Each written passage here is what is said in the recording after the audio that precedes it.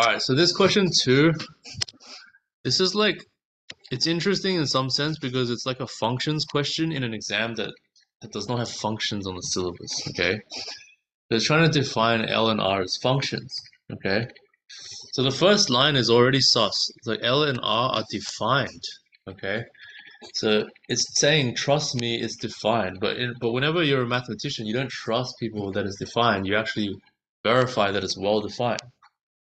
Why is it might not be well defined? Because the same number can be represented by different fractions, right? So it could be 2p over 2q, that's the same number, right? Does that make sense? So p and q might not even be simplified, yeah? But the point is, if there's a common, if there's a common factor k on the top and the bottom, it'll cancel in the output as well, right? So if there's a, You have to cancel. you don't. That's the that's the beauty of it. Yeah. See, because because it's it, because it's well defined, you can take any fraction as the input, and it'll give you the same output. Yeah. So that's that's how this that's why this question works basically. For this question, you can just do it like you can manually do it. Yeah, but when you manually do it, you're assuming that the operations are actually defined, right? So I'm trying to tell you that outside the exam, you should actually check that they are defined. So you start with one on one, right? And you apply R, which adds the denominator to the numerator, yeah? And then you apply L, which adds the numerator to the denominator, yeah? And then you get 5 on 3, yeah? And then you get what? Five on eight centimeter, eight centimeter. Oh, it is Fibonacci. How many do we do this for? Ten. That's a lot. No, two. It's pretty fast, right? Yeah, it's 13 on 8. And then. Wait, is there just for them? yeah, it is. You can just, you don't have to do anything. You can just get the sum at the beginning and then go from there. Yeah. Just kind of don't want to be off by one. How many R's and L's have we done? One, two, three.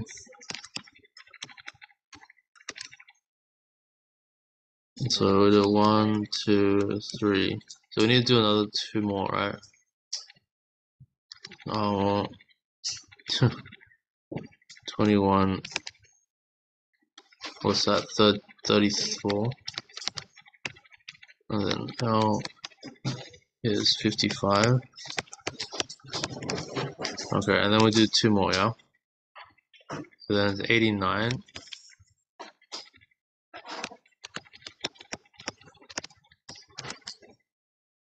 And then, um,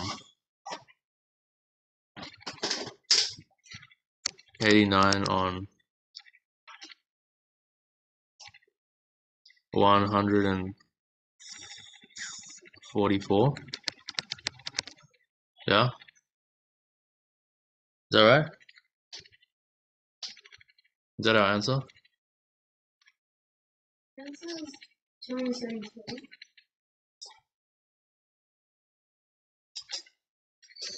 Um, 233. Okay, well, do we know it's simplified?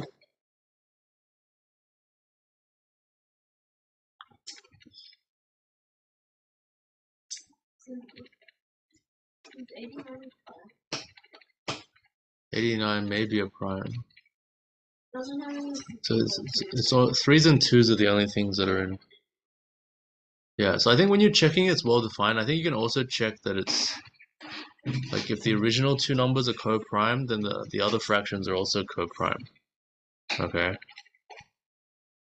So it actually preserves co-primeness, these operations. So then you don't have to cancel or anything, or check think about canceling. Okay, so if it's 89 over 144, is that what you got? Yeah. Then it should be like so 233 to 35. 233, yeah? Math, they do it in like five Those Yeah. are very good. I think it's the function notation is gonna be it's gonna get a lot of people. So like see like it's not it's obvious if you know about functions, but if it's just like you don't know about it, what was like is it obvious you should write L brackets P over Q? Like maybe maybe it's come up in other kind of questions, but like having a, letter next to a bracket, I don't know. Could it could it could be strange notation for some people.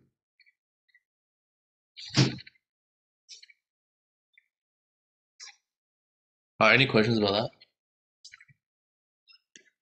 Are you allowed to do that? Okay, this one. Oh no, you can't have calculators in this one, yeah. Mm.